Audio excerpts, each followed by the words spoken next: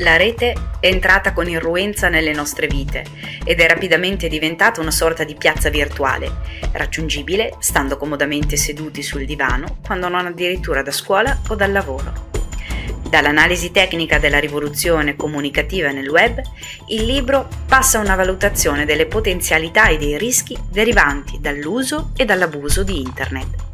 l'informazione alternativa, il coinvolgimento sui temi di impegno civico, ma anche lo scatenarsi di atteggiamenti da branco nei social network, il finanziamento o il controllo dei portali, l'accanimento per spegnere i coraggiosi casi di informazione fuori dal coro, la censura pronta ad abbattersi sui contenuti non allineati al sistema di potere.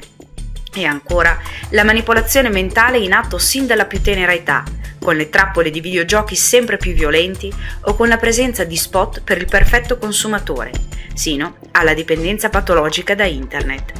Una rete con luci e ombre, da saper navigare con spirito critico e vigile per non restarvi intrappolati.